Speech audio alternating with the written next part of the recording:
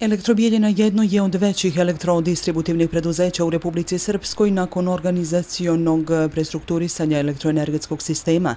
Menadžment i zaposleni proslavili su danas krsnu slavu ovog preduzeća koje bilježi pozitivne rezultate poslovanja uz realizaciju brojnih kapitalnih projekata i investicija. Ovogodišnju krsnu slavu Svjetog proroka Iliju elektrobijeljina dočekaju u poslovnom zamahu prepunom izazova kako strateških, tako i svakodnevnih pri kraju je realizacija kapitalnih projekata vrijednosti 45 miliona konvertibilnih maraka, od čega je 30 miliona razvojno preko kredita Evropske banke za obnovni razvoj. E, taj projekat podrazumijeva rekonstrukciju mreže i nabavku najsavremenije opreme. Nova oprema i mreža omogućuje da imamo mali broj zastoja na mreži i to je najbolji rezultat u posljednjih nekoliko godina. Mihajlović ističe da elektrobijeljina nastavlja sa ulaganjima i modernizacijom distributivne mreže uz smanjenje distributivnih gubitaka i investiranjem u kapitalne projekte kako bi pružili što bolje usluge svojim korisnicima. Održala smo nizak nivu distributivnih gubitaka, trenutno negdje oko 8%, što je za 3% bolji rezultat, odnosno neki nivo koji je popisao sam regulator. E, kupili smo 40.000 pametnih brojila, što je bitan uslov za optimalno funkcionisanje same elektrobijenje. Reforma i nove investicije u elektroenergetskom sektoru stvaraju uslove za velike rezultate u ovoj oblasti. Time je obezbijeđena i sigurnost i kvalitet u isporuci električne energije na zadovoljstvo građana i privrede u Republici Srpskoj, ističe direktor javnog snabdjevanja u elektroprivredi Republike Srpske i dodaje da elektroprivreda po najpovoljnijim cijenama u regionu i Evropi snabdjeva strujom potrošača u Srpskoj. Želim ovom prilikom da čestitam krsnu slavu ODS-u Elektrobijeljina u svoje ime, u svoje lično ime kao ime matičnog prezeća Elektroprivrede Republike Srpske.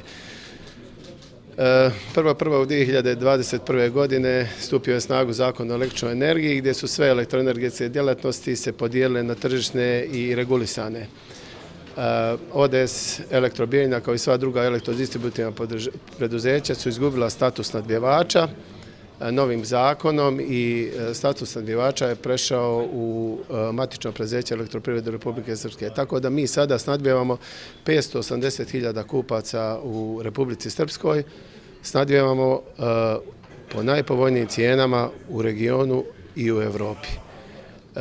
Sada trenutne cijene na tržištu električne energije kreću se oko 450 eura. Mi naše potrošače snadbivamo sa 22 1,5 eura po cijeni električne energije. Elektroprivreda Republike Srpske kao matično preduzeće i garant uspješnog snabdjevanja potrošača u Srpskoj rečeno je u sjedištu elektrobijeljine gdje je proslavljena slava ovog preduzeća. Mi ovaj, i postojimo za to da uredno, kvalitetno i po najnižnim cijenama snadjevamo električnom energijom. Što se tiče svih ODS-ova koji su prenose električnu energiju do potrošača, imamo sjajnu saradnju, imamo ovaj jedan, eh, jedan eh, sjajan sistem. Mislim da svi potrošači u Republici Srpskoj ne treba da se boje da ovaj, će cijena električne energije poskupiti, da će ostati bez napajanja, znači uredno i kvalitetno ćemo napajati naše potrošače električnom energijom.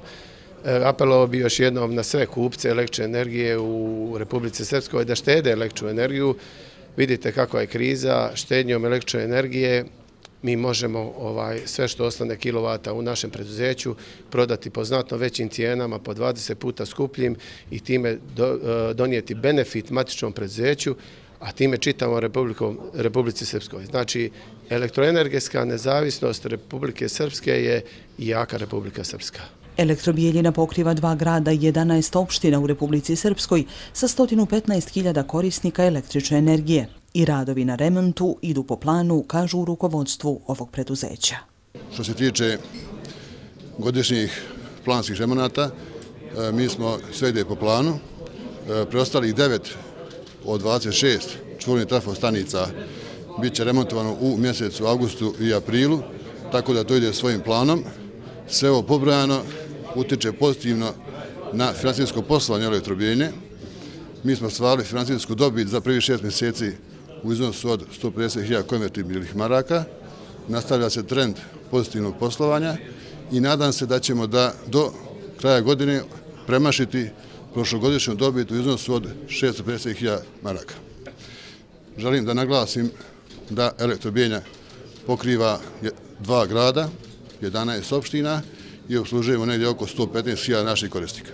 Predsjednik sindikalne organizacije u Elektrobijeljini podsjeća da su uspješno prošli kroz zahtjevan period rada u uslovima pandemije virusa korona i reorganizacije u sistemu, te ukazuje da i u otežanim uslovima koje diktiraju vremenske prilike, naročito sada ekstremno visoke dnevne temperature, električari na terenu obavljaju najzahtjevnije poslove kako bi svi građani imali uredno snabdjevanje električnom energijom. Svetilija je zaštitnik električara.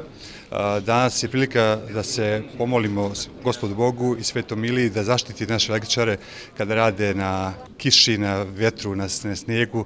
Znate koliko je to opasna djelatnost i znači svi mi znamo koliko je to teško raditi kada imate kišu, kada imate snijeg, kada imate e, vrućinu veliku, a ti su ti su ljudi oni koji izbjećuju da mi u svakom trenutku imamo struju kod kuće. Tek onda kada nemamo struje vidimo koliko to znači Znači ili jednostavno kompletno civilizacija savremenog čovjeka zasniva se na električnoj energiji. E, a osnov svega toga e, da bi imali ljudi struje su naši električari, a posao sindikata je da se borimo za njihova prava, da ta njihov, njihov težak rad, težak, izuzetno težak rad, izuzetno opasan rad, ovaj bude adekvatno nagrađen i da budu zaštićeni znači i e, sa banjama, sa lečenjima, a naravno prije svega sa primanjima odgovarajućim. Proslavi svetog proroka Ilije, krsne slave preduzeća Elektrobijeljina, prisustovale su brojne zvanice iz društvenog, političkog i javnog života Semberije, Republike Srpske i Bosne i Hercegovine.